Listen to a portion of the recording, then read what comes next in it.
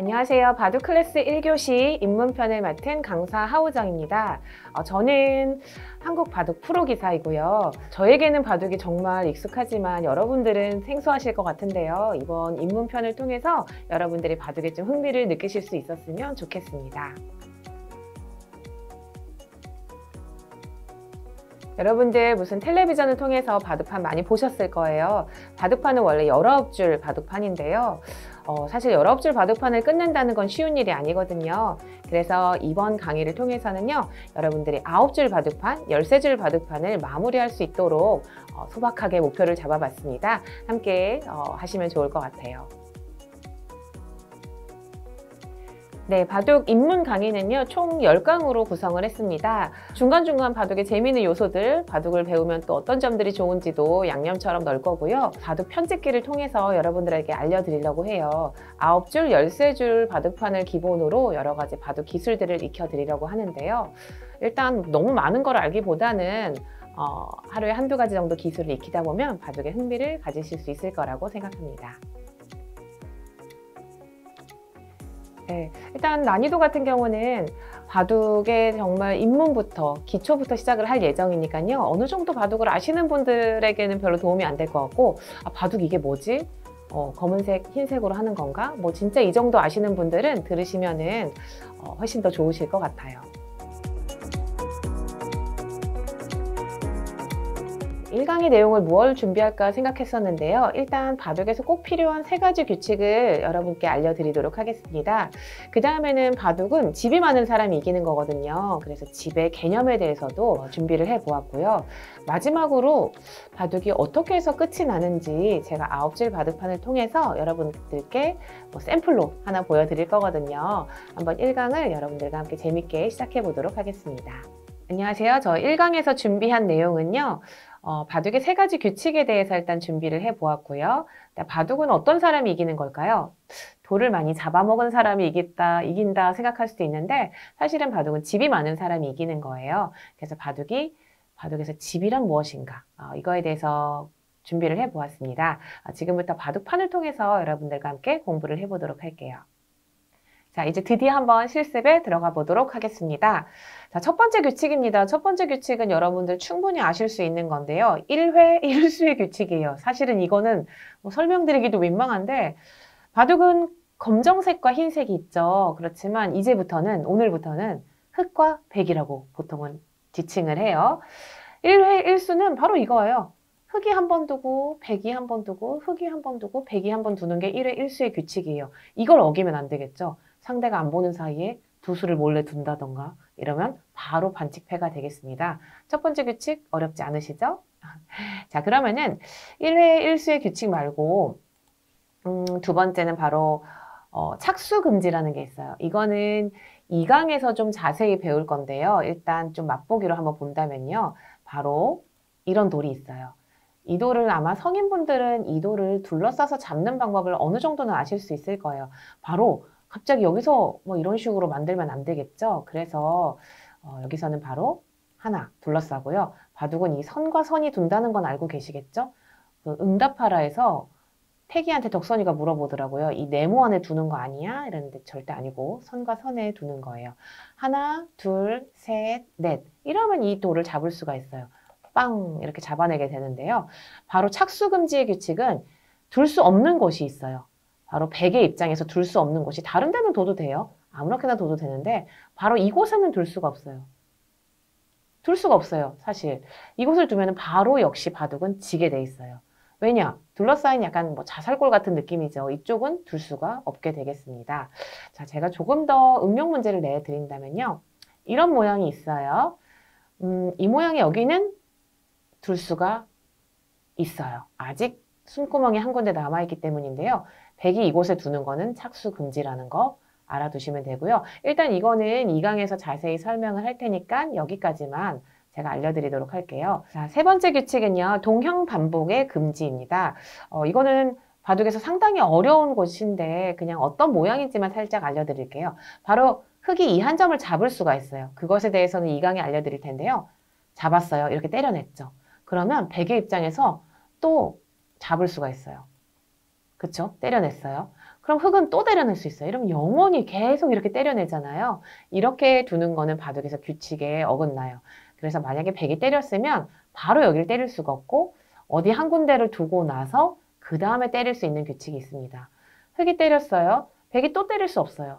백은 또 어딘가를 한 군데를 두고 그 다음에 때릴 수 있는 게 바로 동형 반복의 규칙. 어, 조금 어렵지만 바둑에서 이렇게 계속 동형이 반복되는 거는 두지 않으면 된다는 정도만 알고 계시면 되겠습니다. 자, 일단 세 가지를 준비해 보았는데요. 세 가지를 여러분께 알려드렸는데 첫 번째 기억나시나요? 1회 1수의 규칙. 어, 한 번에 한 수씩만 두는 거예요. 그렇지 않으면 반칙패를 당하는 거고요. 두 번째는 아까 착수 금지였죠. 어딘가 들어가면 숨구멍이 그냥 막혀 있는 곳. 약간 자살골 같은 경우는 그런 곳은 두면은 역시 바둑은 바로 반칙패가 됩니다. 세 번째 이것도 마찬가지인데요. 어, 동형 반복이죠. 계속해서 이 동형이 반복되는 건 안 되니까 똑같은 모양이 반복되는 건 안 돼서 한 번 턴을 돌고 그 다음에 어, 두는 것이 바둑에서 세 가지 규칙이 있어요. 이 세 가지 규칙 중에서 한 가지를 한 가지라도 어기게 되면 바둑은 바로 끝나게 됩니다. 예를 들면 세계 대회 3억이 걸렸다. 아무리 바둑이 유리한 상황이다. 그래도 이 규칙을 어기게 되면은 바로 바둑은 반칙패를 당하게 됩니다. 어, 뭐 너무 어려운 개념이라고 생각하지 말고 이 정도가 있다 이렇게 생각하시면 될 것 같아요. 바둑은 누가 이기는 게임일까요? 사실은 어, 돌을 잡는 재미를 느끼게 되면은 사실 돌을 많이 잡은 사람이 이긴다고 착각을 하시는 경우가 많은데 결국은 바둑은 집이 많은 사람이 이기는 거예요. 예를 들면 백이 60집, 흑이 55집 이러면 백이 다섯 집을 이기게 되는 게임이거든요. 최종적으로는 어, 저는 집의 개념에 대해서 한번 설명을 해드리도록 할게요. 자, 이 집은 누구 집일까요? 설마 좀 색깔을 구분 못하시지만 않는다면 이거는 백집이 아니죠. 이거는 흙집이에요. 바로 여기는 아무리 백이 쳐들어오고 싶어도 꽉 막혀 있어요. 갑자기 돌을 뚫고 들어갈 수는 없잖아요. 자, 이것은 완벽한 흙집이라고 계산할 수가 있겠습니다. 자, 그렇다면 이거는 흙집은 몇 집일까요? 어, 여섯 집이라고 생각하시는 분들도 계세요. 제가 한번 이렇게 물어봤을 때 하나, 둘, 셋, 넷, 다섯, 여섯 이렇게 생각하시는 분들이 계시지만 집을 셀 때는요. 나의 영토를 세는 거예요. 둘 수 있는. 하나, 둘, 셋, 넷, 다섯, 여섯, 일곱, 여덟 이렇게 해서 어, 이 집은 흙 여덟 집이라고 생각을 하시는 거예요. 자, 이해가 가시나요? 자, 그렇다면 이쪽 오른쪽 모양을 볼게요. 이거는 누구의 집일까요? 맞습니다. 이거는 흙집이죠. 하지만 아까 이 왼쪽과는 좀 달라요. 어디가 뚫려 있을까요? 바로 이 부분이 좀 뚫려 있어요. 아직 완벽하게 막혀 있는 집이 아니거든요. 그래서 이것은 완벽한 흙집이라고 볼 수 없지만 흙집이 될 가능성이 아주 높다. 이렇게 볼 수 있겠죠. 자, 그렇다면 여러분들은 완벽한 흙집을 만들고 싶으면 어떻게 만들고 싶어요? 음, 제가 생각할 때는 어, 이렇게도 만들 수 있어요. 이거는 이제 더 이상 들어올 수가 없죠. 뚫려 있지가 않으니까. 이건 몇 집일까요? 하나, 둘, 셋, 넷, 다섯 집이 되겠습니다. 그쵸? 자, 그렇다면 이것도 가능하겠죠. 더 예쁘네요, 아까보다. 이건 몇 집일까요? 하나, 둘, 셋, 넷, 다섯, 여섯 집이 되겠습니다. 이왕이면 저는 이렇게 짓겠습니다. 자, 이러면 하나, 둘, 셋, 넷, 다섯, 여섯, 일곱 집이죠. 바둑은 이렇게 완벽한 집을 가장 많이 짓는 게임이에요. 그냥 궁극적으로 얘기하자면. 그래서 집의 개념에 대해서 설명을 해드렸고요. 제가 조금 더 알려드릴게요. 무엇이냐면 예를 들면 음, 여러분들 성인들이니까 조금은 아실 거예요. 바둑이 어, 이런 게 있거든요. 음, 한 이렇게 만들어 볼게요. 자, 이런 집이 있습니다. 자, 이걸 둘러싸 볼까요, 한번? 음. 제가 한번 그냥 둘러싸 보도록 할게요. 이 강에서 자세히 배우겠지만 자 이렇게 되면요. 이거는 백이 이 흙 세 점을 잡았어요. 잡았다고 표현하는데 잡게 되면 가만히 놔두는 게 아니라 이렇게 돌을 드러내는 거예요. 자 그러면 백에게는 흙의 포로 세 개가 있다는 것을 꼭 기억하세요. 자 이렇게 되면 너무 기분이 좋죠. 자 이렇게 흙집 하나, 둘, 백이 세 개나 때려 먹은 하나의 집이 있습니다. 누가 이겼을까요? 아, 나는 포로를 3개나 땄으니까 너무 내가 기분이 좋고 내가 이긴 것 같다고 생각하지만 나중에 어떻게 마무리를 하냐면요. 아까 3개를 때려낸 게 있었죠. 이거는 바로 남의 집을 이렇게 메꾸는 데 씁니다. 자, 이렇게 되면 흑은 4집, 8집, 총 12집이 나고요. 백은 3집이 나는 거예요. 그러면 분명히 3개를 잡아먹고 기분은 너무 룰루랄라 좋은데 바둑은 흑이 9집을 이기게 된 결과이죠. 그래서 결국은 많이 잡아내는 것보다는 집을 많이 지어서 최종적으로 누구의 집이 많은지를 겨루는 게 바둑의 승부라고 할 수 있겠습니다. 어, 여러분들 오늘 배운 거를 총 복습하는 의미로 바둑은 누가 이기는지 마무리 장면을 한번 보여드리려고 해요. 어, 그 입문 10강에서의 제 목표는 9줄, 13줄 바둑판을 마무리하는 거니까 한번 보도록 할게요.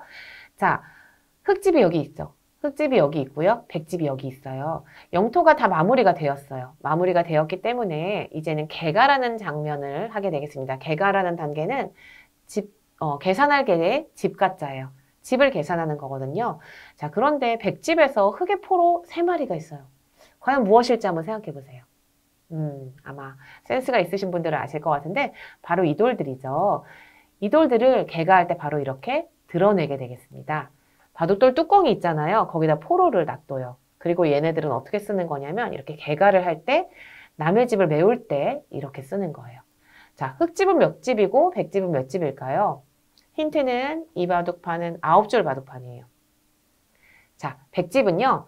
1, 2, 3, 1, 2, 3, 4, 5, 6, 7, 8, 9. 9 곱하기 3, 27집이 되겠습니다.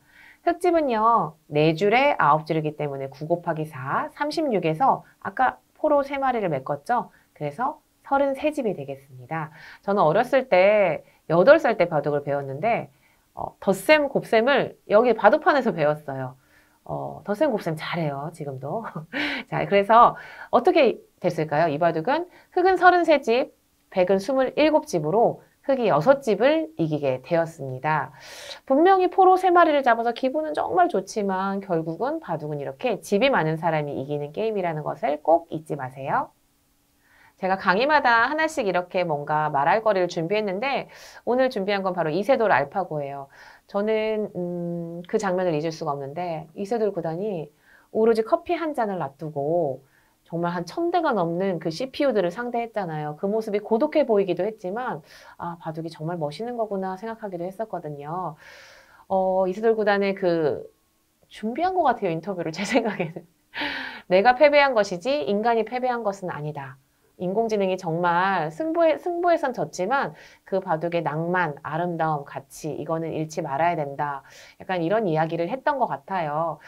어, 일단 1강은 바둑에 대한 전반적인 이해를 돕는 시간이었는데 여러분들 벌써 너무 어렵다고 포기한 게 아닐지 모르겠어요. 2강부터는 바둑의 기술적인 면을 어, 알려드릴 테니까요. 그때부터 한번 돌 잡는 기술 뭐 이런 것도 익혀두시면 좋을 것 같아요. 1강 시청해주셔서 감사합니다. 어, 1강 힘들지 않으셨나요? 어, 일단은 바둑에 대한 기본 개념을 여러분들께 알려드리려고 준비해 본 강의니까요. 너무 스트레스 받으시지 마시고 제가 앞으로도 이 강의에 대해서는 조금 더 복습을 해드리도록 할게요. 어, 1강은 여기까지 하도록 하고요. 지금까지 시청해 주셔서 감사합니다.